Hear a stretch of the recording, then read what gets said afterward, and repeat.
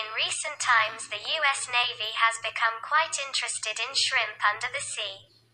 Some shrimp make the sound of cut cut underwater.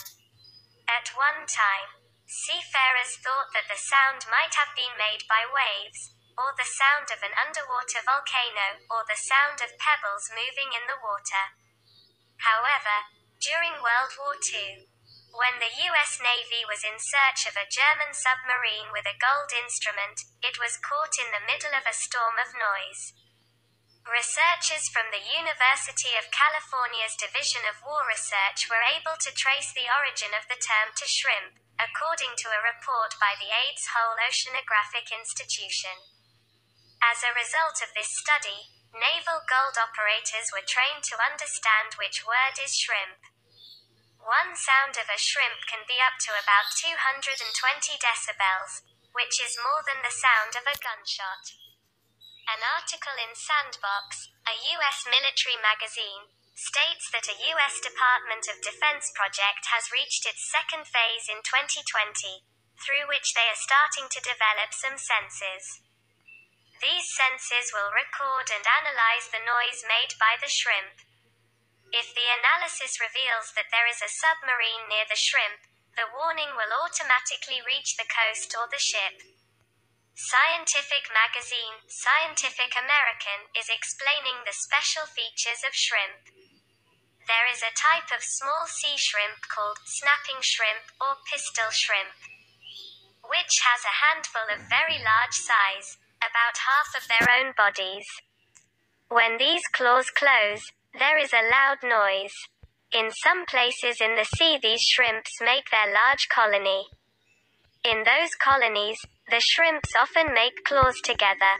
If someone uses a gold instrument under the sea at such a time, he will not hear anything except the sound of shrimp and all his work will be disrupted.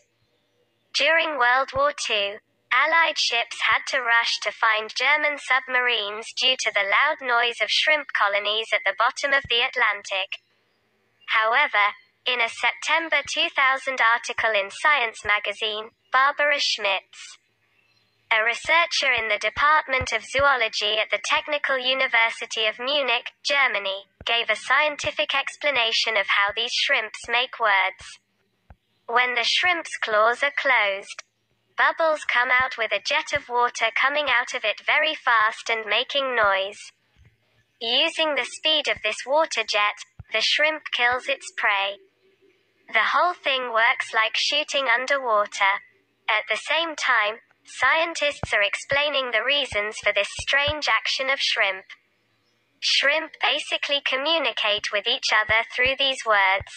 At the same time, they try to defend their territory by intimidating any attacking animal. This activity of shrimp has attracted the researchers of the U.S. Navy. A study published last year by the Center for Climate Security said that a study published at the Ocean Science meeting in 2020 found that as seawater temperatures rise, so do the sounds of these shrimps. This will make it as difficult for fishing vessels to use gold as it is for the US Navy to search for submarines and submarines. Gold instruments can be used to create three dimensional reflections of the surface underwater. Again, anything running underwater can be found, such as fish or submarine or mine or any other object. Active gold is a sound wave that throws waves underwater, which is reflected from something and comes back again. By hearing this return sound, the distance of any object underwater can be measured from the measurement of the wave. Another type of gold is passive gold, which does not make sound but rather hears sound to get ears. The instrument tries to understand by listening to and analyzing any sound made underwater and how far or deep it is. The importance of gold instruments has become immense since the use of submarines in naval warfare. Because if a submarine dives underwater, it can no longer be seen from the surface of the water and it is very difficult to find it without a gold instrument. Researchers at the Defense Advanced Research Projects Agency, DARPA, believe that the sound of these shrimps could lead to the discovery of unmanned drone submarines of the enemy navy under the sea. According to a report in Discover magazine, it is difficult to find such drones that are almost silent.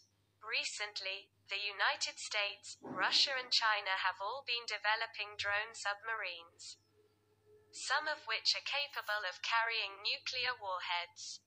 The number of Russian submarines in the Atlantic has also increased.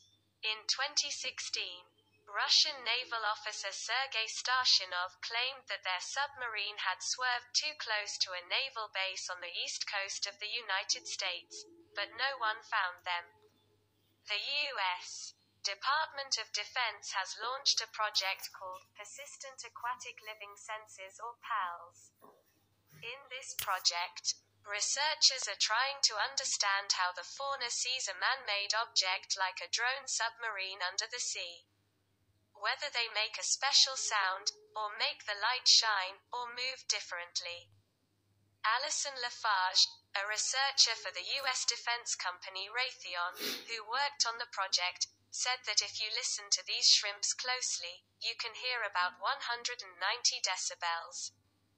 But you don't have to supply any electricity to produce these words.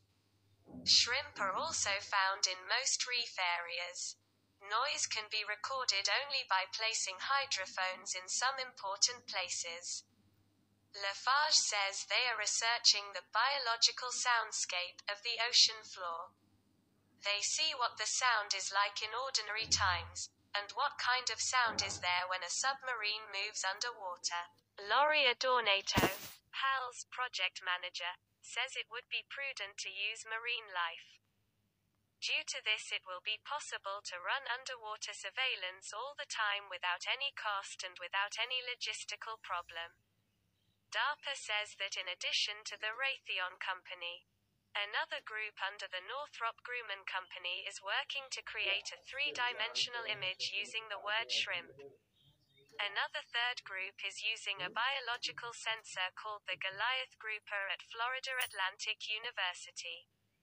Sandboxx reports that Russian and Chinese submarines are being built much quieter in recent times.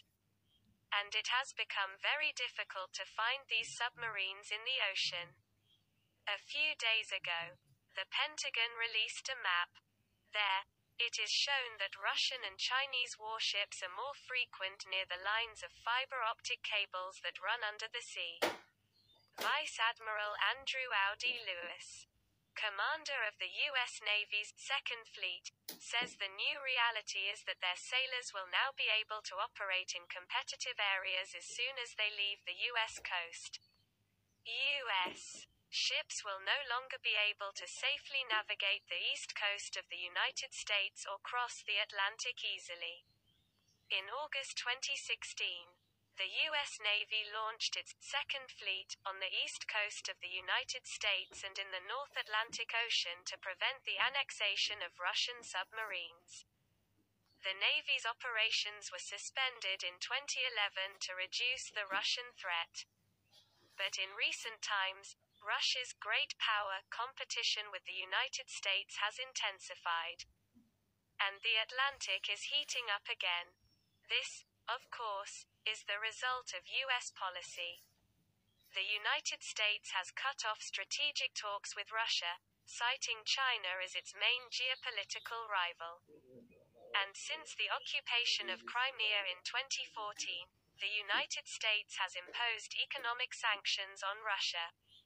Russia, weakened by these factors, is desperate to force the United States to negotiate.